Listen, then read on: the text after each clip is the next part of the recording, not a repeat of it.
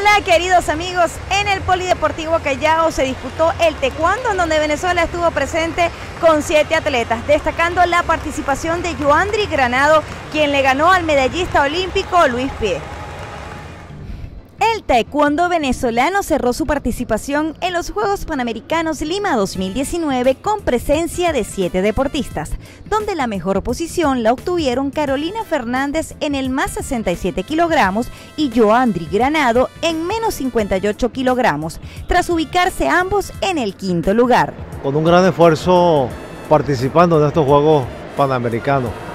Sin embargo, no se puede eh, pretender la participación en estos Juegos Panamericanos sin la debida preparación.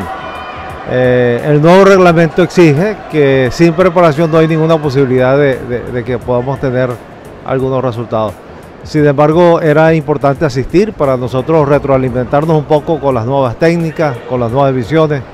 Tenemos cuatro años sin participar en eventos eh, que no son del ciclo olímpico. Eso, por supuesto, nos dio una gran desventaja que es estar de último de ranking eh, mundial. Por su parte, Carlos Rivas, en menos 80 kilogramos, obtuvo la octava posición. Y finalmente, Luis Álvarez, más 80 kilogramos, Virginia Delán, menos 49 kilogramos, Adriana Martínez, menos 57 kilogramos y Adanis Cordero, menos 67 kilogramos, finalizaron sus actuaciones en el noveno escalón.